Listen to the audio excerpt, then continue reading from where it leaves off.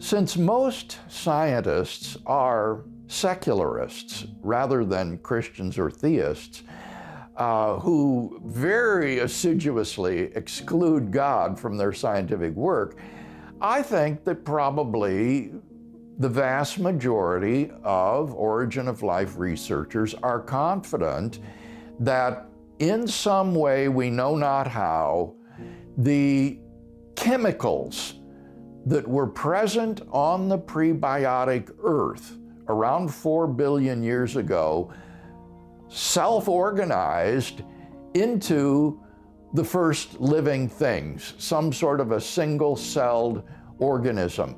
Now, they will admit that they have no idea how this could have happened. Uh, they are confident that the simple organic chemicals were present on the prebiotic earth, things like amino acids, uh, nucleotides, um, saccharides or carbohydrates, and fatty acids.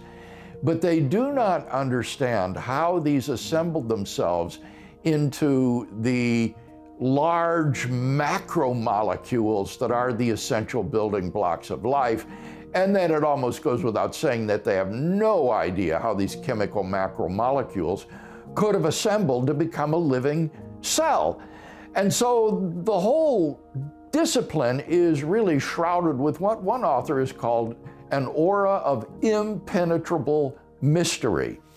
And he, interestingly enough, distinguishes between a mystery and a puzzle uh, and says a mystery is something that cannot be solved within the framework of currently understood science and its principles, uh, whereas a puzzle is something we may not know the answer to, but uh, we can work out.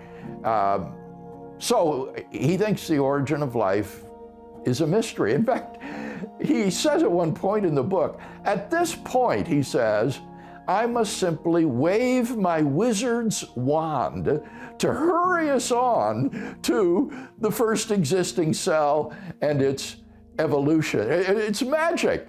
And yet, this same author expresses his great confidence that there is a purely natural pathway to the origin of life unassisted by divine providence, unguided by uh, some cosmic intelligence, um, a sort of faith commitment of the secularist. And I think that that probably would represent the majority view today, that life originated naturally from these prebiotic chemicals, but we do not have any understanding of how this took place.